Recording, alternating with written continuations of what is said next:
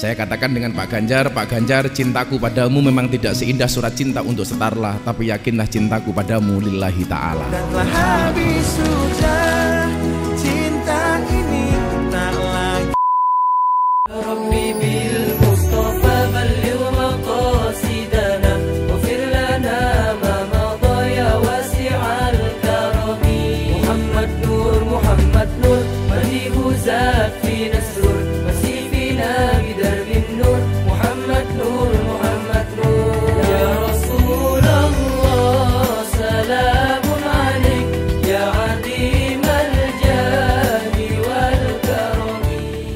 Assalamualaikum warahmatullahi wabarakatuh.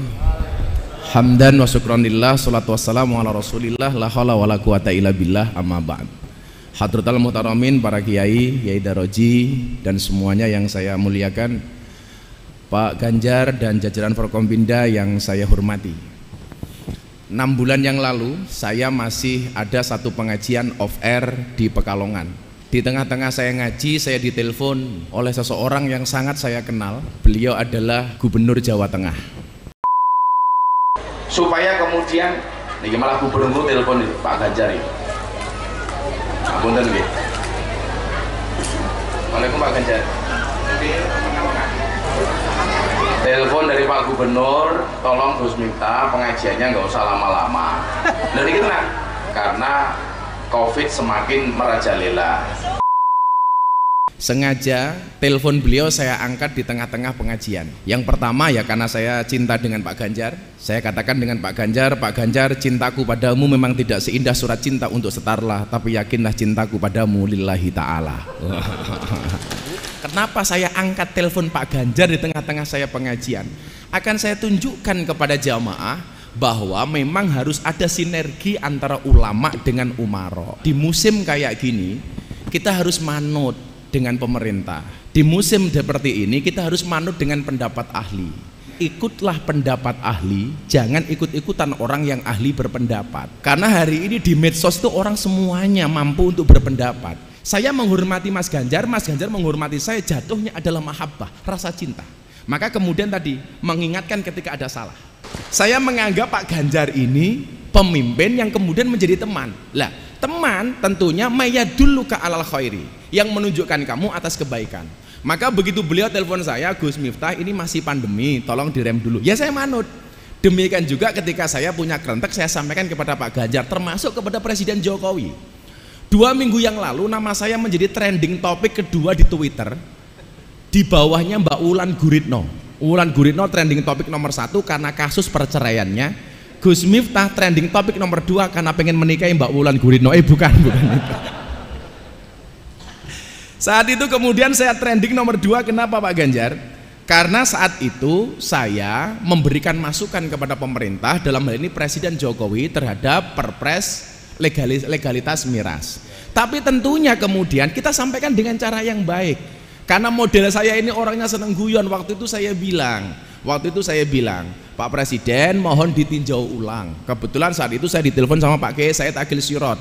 Saya mohon ditinjau ulang. Minuman keras yang boleh dikonsumsi dan halal cuma satu Pak Presiden, apa? Es batu. Hmm. Walaupun kemudian tujuannya baik, maka ketika konferensi pers di PBNU bersama Kiai Said saya sampaikan, ini tujuan presiden bagus untuk nambah devisa, tetapi dengan cara yang menurut kita kurang bagus. Maka saya sampaikan, kalau tujuanmu belum berhasil, rubah caranya, tapi jangan rubah tujuannya. Nah, jadi Gus Miftah sih nggak larang gue loh Pak Imam. Maka posisi kita dengan pemerintah, ketika kemudian terjadi seperti ini jelas bahwa perintah atiullah wa atiur rasul wa ulil amri minkum perintah taat kepada pemerintah itu nomor tiga. Setelah taat kepada Allah kepada Rasul baru kemudian kepada pemimpin. Artinya apa? Taat kita kepada pemimpin itu dilandasi karena ketaatan kita kepada Allah dan kepada Rasulnya. Maka begitu pemimpin-pemimpin ini ada salah kewajiban kita adalah watawasobil hak watawasobil sober saya mencatat beberapa hadis yang kemudian bisa kita jadikan dalil bagaimana kemudian kita harus memahami posisi pemerintah yang pertama dikatakan la ta'ata fi maksiatin innama ta'a fil ma'ruf kita tidak boleh taat kepada pemerintah ketika ada kemaksiatan Tetapi ketaatan itu adalah kepada kebaikan. Maka posisinya kemudian adalah orang-orang ahlu sunnah wal jamaah menempatkan diri sebagai orang-orang yang moderat. Maka ayatnya kemudian dikatakan wa kadzalika ja'alnakum ummatan wasaton. Saya pengen anak-anak SMK memahami konsep wasatiyah, konsep moderat. Kalau kemudian bahasa Pak Sigit di presisi itu adalah moderasi. Jadi istilah deradikalisasi Mas Ganjar di kepolisian hari ini diganti dengan istilah moderasi dengan bahasa yang lebih halus. Wa kadzalika ja'alnakum ummatan wasaton. Umat yang tengah-tengah. Dan luar biasanya ayat ini terletak tepat di tengah-tengah surat Al-Baqarah. Adik-adikku di SMK, Anda pahami kalimat ini, ummatan wasaton, umat yang moderat. Posisinya adalah bahwa ahlu sunnah wal jamaah hadir di Indonesia dalam hal ini mohon maaf melalui Nahdlatul Ulama itu dengan dua agen dan dua agenda, dua misi. Misi pertama adalah misi keagamaan, kemudian misi kedua adalah misi kebangsaan.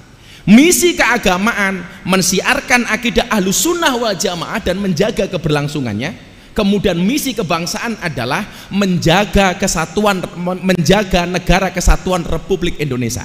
Maka dalam sejarah ahlu sunnah nggak ada Mas Ganjar itu melawan pemerintah atau menjatuhkan pemerintah yang sah.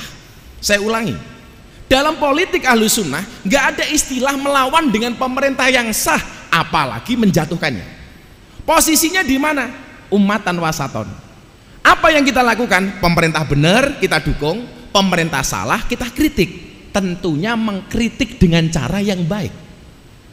Hari ini banyak orang kemudian pengen mau mengingatkan pemerintah tapi dengan cara yang kurang baik. Yang ada kemudian apa? Hari ini kalau orang itu senang dengan pemerintah, buruk sekalipun dianggap baik, tapi orang yang benci dengan pemerintah, baik sekalipun tetap dianggap buruk. Contoh, Covid datang, minta vaksin.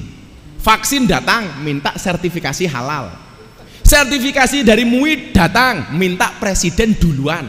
Presiden mau minta di live. Begitu di live katanya diedit. Jangan-jangan vaksinnya presiden beda dengan vaksin yang diberikan kepada rakyat. Maka saya bilang cangkemmu lo dul. Dul itu. Golek salah pemerintah tok. Tapi lucunya begitu ada bantuan baksos tentang vaksin antri di dewe gitu nggak manut dengan kebijakan pemerintah ada bantuan melayu di dewe tapi memang aneh mas Ganjar. Orang Indonesia itu aneh. Ada bansos untuk orang miskin. Semua orang ngaku miskin. Ada bansos untuk UMKM semua orang ngaku pengusaha kecil. Maka saya usul Pak Ganjar di Jawa Tengah tolong dibuat bansos untuk orang gila. Pertanyaannya adalah banyak enggak yang ngaku gila? Maka di sinilah kemudian anak-anakku di SMK tolong pahami konsep kebangsaan yang benar hari ini saya sampaikan ada empat peta saya yang menggambarkan pola keberagamaan dan pola kebangsaan di Indonesia. Di Indonesia. Karena saya memang komitmen betul dengan pandangan-pandangan kebangsaan. Karena sebelum berangkat haji, Hadratus Syekh Mbah Maimun Zubair video call kepada saya, beliau berwasiat dua hal. Miftah ngajimu di klub malam di tempat anak-anak seperti itu tolong dilanjutkan. Yang kedua konten ngajimu tolong diperbanyak kebangsaan. Ini beliau telepon saya tiga hari menjelang hari raya Idul Fitri. Maka hari ini saya mencatat petanya seperti ini Mas Ganjar dan Bapak Ibu sekalian.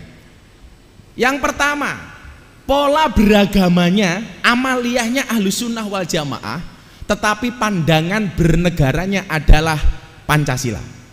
Sekali lagi saya ulangi, amaliyahnya ahlu sunnah, tapi pandangan politiknya adalah Pancasila. Bernegaranya adalah Pancasila, yang pertama. Yang kedua, pola beragamanya ahlu sunnah, tetapi pandangan bernegaranya khilafah dan ini yang paling menipu kenapa? karena amaliyahnya sama dengan kita Pak amaliyah podo tetapi pandangan politiknya berbeda kita Pancasila kelompok ini khilafah dan ini ada di Indonesia kemudian yang ketiga pola beragamanya wahabi tetapi pandangan bernegaranya Pancasila dan orang-orang seperti ini jangan kita musuhi kalau kemudian kita berbeda soal amaliyah, dibolehkan kok. Kita berbeda amaliyah dengan orang Wahabi, boleh. Orang Wahabi beda dengan kita, boleh. Yang nggak boleh itu saling menjelekkan. Maka semalam saya pengajian orasi kebangsaan. Saya punya acara Pak Ganjar namanya orasi, obrolan realita dan masalah hati. Oh, Ini saya sampaikan di kafe-kafe. Konsepnya ada kafe buka, saya nggak ngaji, saya datang saja dengan protokol kesehatan, dengan terbatas, saya sampaikan soal kebangsaan. Saya sampaikan di Indonesia hari ini, kemudian ketika berbeda dianggap musuh. Tolong anda orang ahlu sunnah jangan memusuhi orang wahabi. Toh pandangan politik mereka masih Pancasila. Dan kita diperbolehkan untuk itu. Yang keempat, pahamnya Wahabi, beragamanya Wahabi, dan pandangan bernegaranya adalah khilafah. Kalau ini gampang banget untuk ditandai. Lah, sebenarnya yang paling ideal tinggal di Indonesia siapa? Ahlu sunnah dan dia Pancasila. Dan yang paling menipu adalah nomor dua, ahlu sunnah tetapi pandangan politiknya adalah khilafah.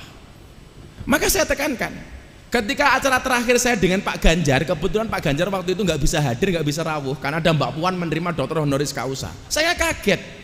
Ada seorang guru di Kudus yang mengatakan apa?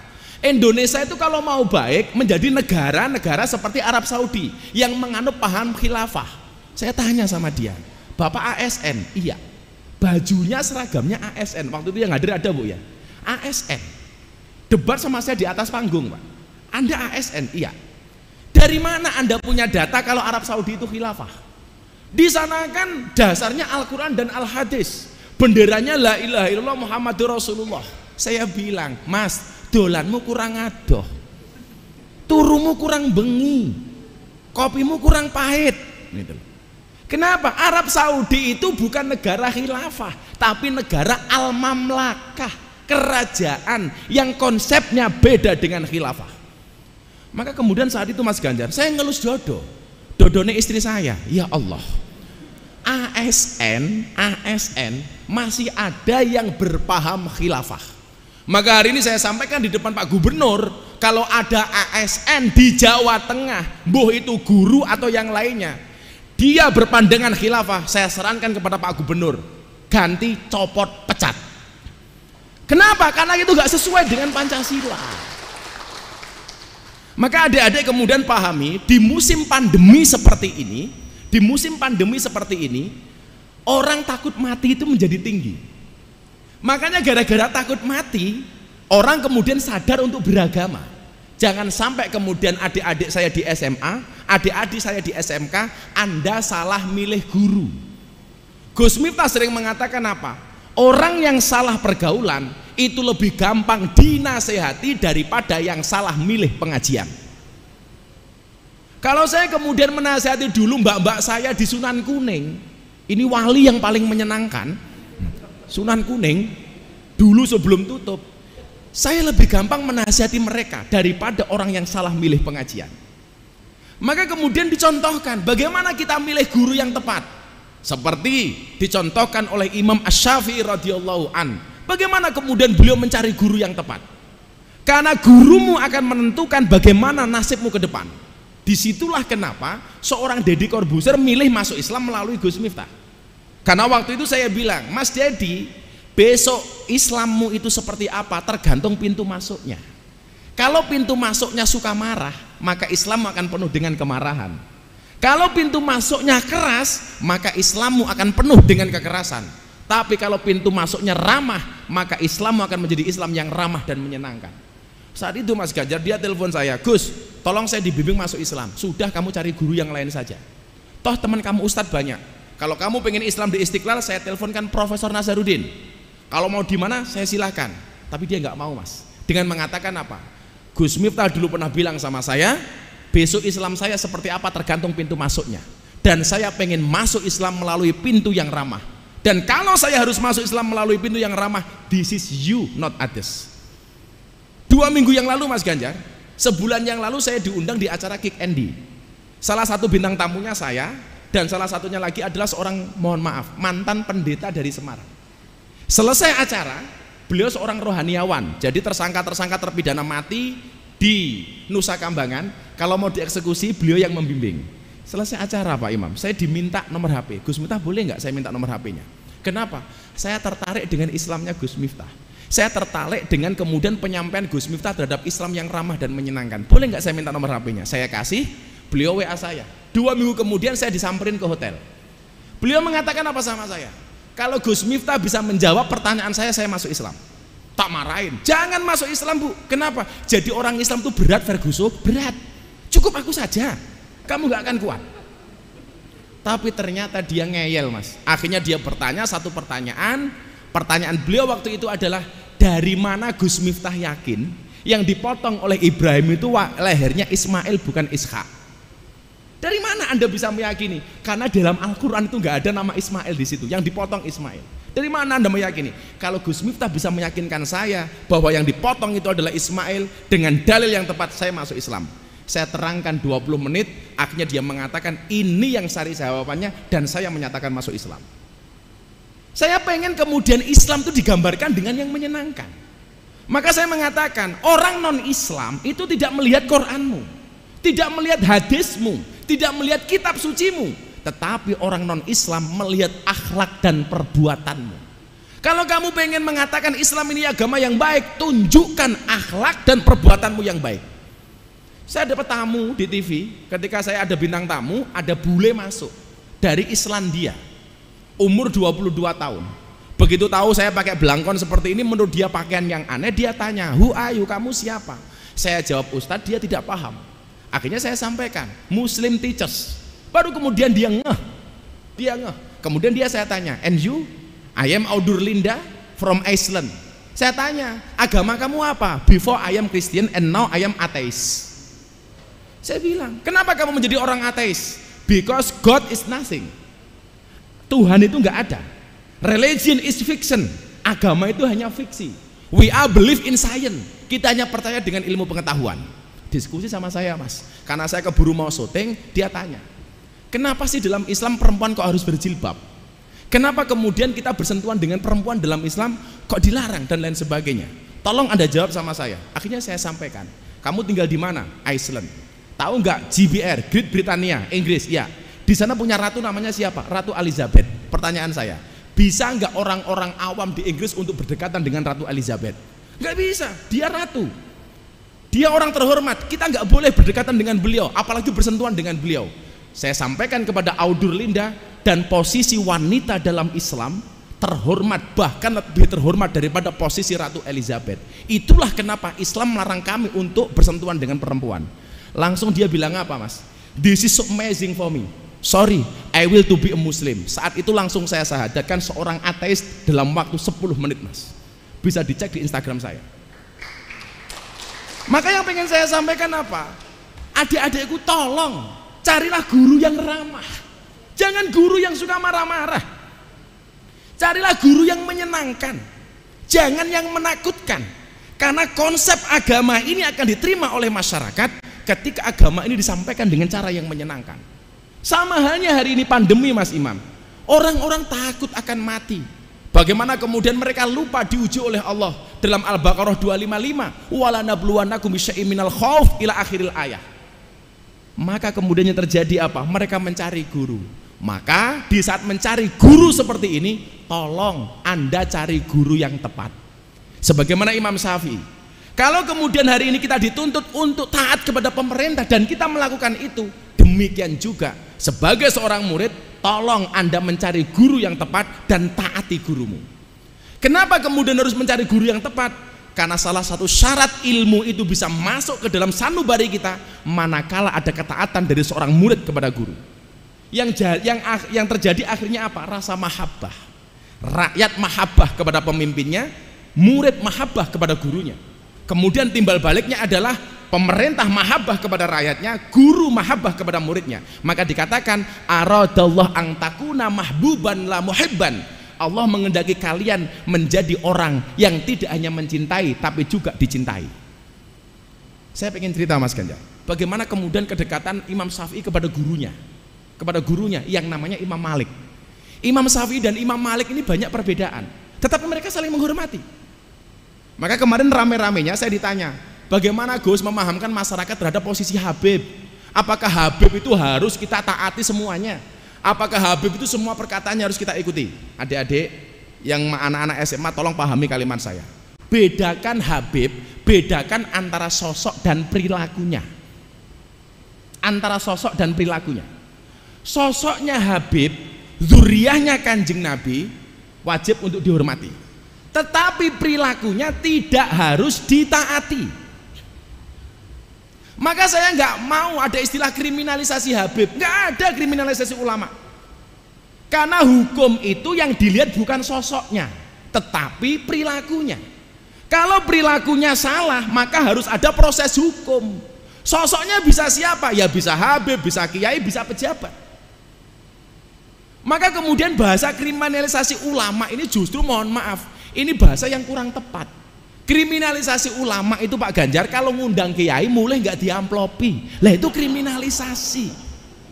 Itu melanggar KUHP pasal 378 penipuan. Sebenarnya dikasih Gus cuma sedikit. Ah, beda lagi pasalnya 335, perbuatan tidak menyenangkan.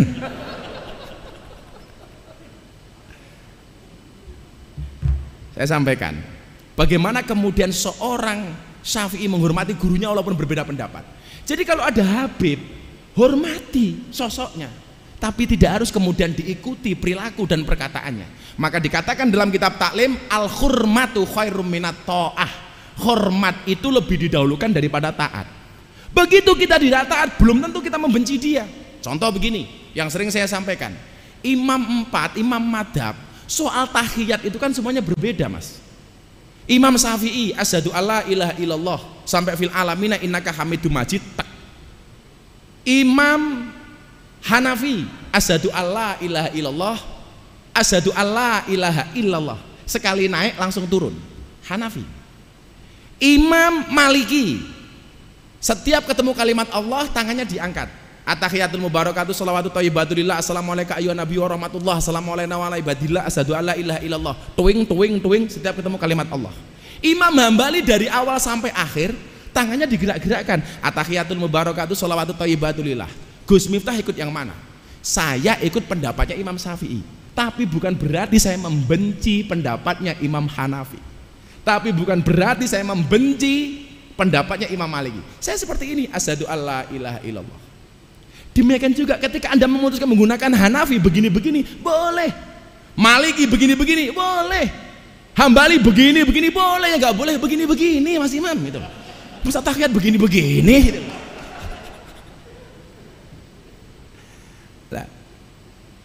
Hormati sosoknya, tapi jangan diikuti perilakunya ketika perilaku itu mohon maaf tidak sesuai dengan ajaran akidah alusunnah wal jamaah dicontohkan oleh Imam Syafi'i. Bagaimana kemudian dia berguru kepada Imam Maliki?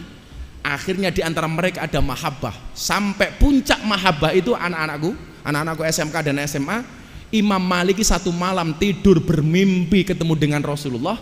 Di saat itu Rasulullah mengatakan kepada Imam Malik wahai Imam Malik balik salami ila syafi'i. Sampaikan salamku Rasulullah kepada muridmu namanya Imam Syafi'i. Mahabbah sampai gurunya mimpi ketemu Rasulullah Rasulullah nitip salam kepada Imam Syafi'i. Begitu dia bangun disampaikan mimpi ini kepada muridnya Imam Maliki. Eh kamu sekarang sowan ke pondoknya Imam Syafi'i. Sampaikan kepada Syafi'i semalam saya Maliki bermimpi ketemu Rasulullah dan Rasulullah menitipkan salam untuk dia. Datanglah murid kepada rumahnya Imam Syafi'i. Pak Kiai kulo didawi kali Pak Kiai Imam Malik. Bilih wau dalu Kiai Imam Malik mimpi kepanggih kali kanjeng Nabi kanjeng Nabi nitip salam kali panjenengan. Ini mahabbah mas. Jadi puncak tertinggi dari rasa hormat itu adalah mahabbah. Saya menghormati Mas Ganjar Mas Ganjar menghormati saya jatuhnya adalah mahabbah rasa cinta. Maka kemudian tadi mengingatkan ketika ada salah. Imam Syafi'i dikasih salam seperti itu dari Rasulullah senangnya minta ampun mas. Itu kalau surur tahadus bin nikmah. Jubahnya dicopot diberikan kepada santri yang memberikan salam kepada dia nyoleh tak hadiah. Karena Imam Syafi'i tahu wa idza khuyyitum bi tahiyatin fahayu bi asani minha. Kalau kamu dihormati maka kamu harus lebih menghormati dia. Dikasih jubah. Sampai rumahnya Imam Malik santrinya tersenyum dipanggil oleh Kiai Imam Malik. Kowe guyang-guyu dhewe ngopo? Nyuwun sewu Kiai. Kula diwenehi jubah kali Imam Malik eh Imam Syafi'i. Apa kata Imam Malik? Boleh nggak saya pinjam jubahnya? Untuk apa Kiai? Jubahnya Imam Syafi'i akan saya cuci dan bekas air minumnya akan saya minum. Bekas air cuciannya akan saya minum. Kenapa? Syafi'i ini bukan orang main-main. Sampai Rasulullah nitip salam kepada Syafi'i. Jubahnya dicopot mas. Kemudian bekas cuciannya diminum oleh Imam Malik. Inilah puncak mahabbah. Maka kenapa saya sarankan jangan sampai salah milih guru. Al ilmu bila saykhin fasayhu syaiton ilmu tanpa guru gurunya setan. Salah milih guru guru nembahne setan. Sampai satu ketika Mas Ganjar. Saya senang cerita Imam Syafi'i itu. Imam Syafi'i mulang di masjid. Begitu mendengar muridnya mulang di masjid Imam Maliki datang sembunyi-sembunyi. Khawatir mengganggu fokus dan konsentrasinya Imam Syafi'i. Beliau berdiri di belakang tembok mendengar pengajian Imam Syafi'i. Beliau menuliskan khot di tembok Masjid Nabawi. Apa tulisannya man aroda ilmu nafis fa'alai bi Muhammad bin Idris. Barang siapa mengendaki ilmu-ilmu yang penting hendaknya dia ngaji dengan Muhammad bin Idris Imam Syafi'i. Begitu Imam Syafi'i keluar melihat khot gurunya apa yang dilakukan oleh Imam Syafi'i? Beliau tersenyum kemudian menambahkan tulisan di bawah tulisan Imam Malik. Apa tulisannya? Wa kaifa yakunu wa ana tilmidu Malik. Bagaimana saya bisa menjadi seperti ini? Wong saya ini muridnya Imam Malik Makanya tolong ya adik-adik, di saat hari ini Anda ketakutan dengan pandemi, Anda hari ini sadar tentang agama, tolong nyarilah guru yang benar-benar tepat. Maka guru-guru ini akan mengarahkan kepada kita, kita nggak boleh takut berlebihan dengan pandemi. Kita harus prokes, kita harus menjaga protokol kesehatan, tapi kita nggak boleh ketakutan dengan pandemi ini. Saya sering mengatakan apa? Ketuklah pintu langit dengan doa karena yang terlockdown hanya buminya. Langitnya masih terbuka untuk semua hambanya. Berdoalah kepada Tuhannya Corona supaya Corona segera dihilangkan. Jangan gara-gara Corona kita kehilangan Tuhan. Saya sampaikan apa? Bukan ombaknya yang besar tetapi perahunya yang terlalu kecil. Bukan ujiannya yang besar tetapi iman kita yang terlalu lemah Maka kemudian apa? Kita ikuti aturan pemerintah. Tapi jangan kemudian kita terlalu parno, Pak. Terlalu parno. Toh kemudian ajal kita itu matinya karena apa? Sudah ditentukan oleh Allah. Hari ini kita nggak mau keluar rumah, pakai masker, semuanya dilakukan. Ternyata matinya di rumah bukan karena corona, diamuk bojone mergo duwe penghasilan. Maka menyikapinya jangan berlebih-lebihan. Gini aja lah mas, coba anda bayangkan ini. Saya mau tes psikologis Anda semuanya. Coba Anda bayangkan, kalau Anda kemudian naik perahu di sungai, kemudian perahunya bocor. Perahunya bocor. Di sekeliling perahumu ada banyak buaya. Apa yang harus kamu lakukan? Jawabannya satu, Mas. Kalau Anda membayangkan di tengah sungai, Anda naik perahu kemudian perahunya bocor dan di situ banyak buaya. Yang perlu kamu lakukan satu, apa? Berhenti membayangkan berhenti membayangkan. Saya mencatat begini, kecemasan adalah ilusi buruk tentang masa depan. Daripada membuang waktu kita untuk cemas terhadap apa yang belum pasti terjadi, lebih baik mempersiapkan diri untuk menghadapi. Makanya kenapa kita butuh simulasi-simulasi? Saya ulangi, saya tuh kebetulan hari ini paling seneng mas, membuat quote-quote. Membuat quote-quote. Kayak, kayak saya kemarin acara di TV terakhir sama Mas Sandiaga Uno. Saya tanya, Mas Sandi suka apa olahraganya? Lari, bersepeda apa jalan? Dia bilang saya suka lari Gus. Kalau Gus Miftah, saya lebih suka jalan. Kenapa Gus? Karena hidup tentang perjalanan bukan pelarian. Oh. Makanya kalau adik-adik lihat Pak Ganjar sukses seperti ini, Anda jangan lihat suksesnya. Ingat, sukses itu melalui banyak proses, bukan melalui banyak protes. Maka kalian harus tahu, kenapa keringat itu asin? Jawabannya sederhana Kenapa keringat itu asin? Karena dalam perjuangan nggak ada yang manis. Pak Imam, tambahi. Saya ulangi ya. Kecemasan adalah ilusi buruk tentang masa depan. Daripada Anda membuang waktu untuk cemas terhadap apa yang belum pasti terjadi, lebih baik mempersiapkan diri untuk menghadapi. Maka ketika Allah memberikan ujian yang berat, Allah tidak memerintahkanmu untuk mencari jalan keluar hingga penat. Tetapi Allah memerintahkanmu untuk sabar dan sholat. Dia tidak memerintahkan kita untuk mencari jalan keluar hingga penat. Tetapi Dia memerintahkan kita untuk sabar dan sholat. Hadapilah nikmat dengan syukur, terimalah musibah dengan sabar. Maka kalau gitu kita lakukan, insya Allah kita fine-fine saja. Kalau kemudian hidupmu diselimuti banyak masalah, berbahagialah, berarti Anda manusia. Karena kalau diselimuti kelapa berarti klepon. Di sinilah kemudian kita harus optimis karena fa inna ma'al usri yusra. Karena setiap kesulitan pasti akan ada kemudahan. Di lain itu Allah memberikan semangat dalam surat At-Taubah 40 la tahzan innallaha ma'ana. Jangan kamu bersedih. Kenapa? Karena Allah bersama kita.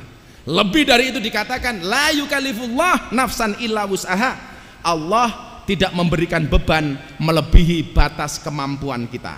Ingat, kesedihan itu akan membesar ketika diomongkan, tapi kesedihan itu akan semakin mengecil ketika dirahasiakan. Kita contoh akhlaknya Rasulullah. Rasulullah itu kalau senang ngomong, kalau susah diem. Warganya Pak Ganjar sebaliknya. Kalau seneng diam, kalau susah ngomong. Lan duwe duit meneng, ran duwe duit bengok-bengok. Wonge ya teko. Hmm. Ya nganggo belangkon. Hmm. Maka barangkali itu Mas Ganjar yang ingin saya sampaikan kepada adik-adik semuanya. Bagaimana kemudian kita menghadapi musibah ini dengan penuh optimisme. Insya Allah saya belajar dari karakteristik orang berpuasa. Orang berpuasa itu haus, lapar, dahaga. Tetapi kenapa orang berpuasa mau bersabar? Jawabannya satu. Orang berpuasa itu walaupun haus, lapar, dahaga, Kenapa mereka mau bersabar? Jawabannya adalah karena orang berpuasa yakin adzan maghrib pasti datang. Terima kasih. Assalamualaikum warahmatullahi wabarakatuh punya spirit kebangsaan yang bagus, menyampaikan dengan enak, dengan guyon, tapi mak jelek keliling ke anak-anak muda, pelajar biasanya sering bareng sama Gus Miftah. Tapi karena kondisi seperti ini, tentu tidak bisa melaksanakan secara luring dan hari ini kita laksanakan secara daring. Mungkin nanti di Ramadan juga bisa kita lakukan. Ya mungkin hybrid begitulah, luringnya dikit, daringnya bisa lebih banyak tapi jangan berhenti karena ini bagian dari ikhtiar kita mencoba mencari jalan keluar agar aktivitas semacam ini tetap bisa jalan dengan baik. Yang selamat menghadapi pandemi ini bukan yang kuat, bukan yang punya banyak duit, bukan yang paling sehat. Tetapi yang akan selamat adalah mereka yang paling bisa beradaptasi dengan semua perubahan yang begitu cepat. Insya Allah kalau kita mampu beradaptasi, kita akan selamat. Ya alhamdulillah minimal tahun ini tidak sehoror tahun kemarin lah. ini karena ada persiapan setahun, kemudian ada banyak simulasi dan vaksin kita doakan semakin cepat. Makanya kemarin Mas Ganjar saya motong dua sapi. Saya syukuran karena Pak Jokowi memberikan vaksin gratis kepada masyarakat. Dan kita harapkan vaksinnya akan lebih dipercepat sehingga keadaan bisa kembali pulih dan normal. Amin.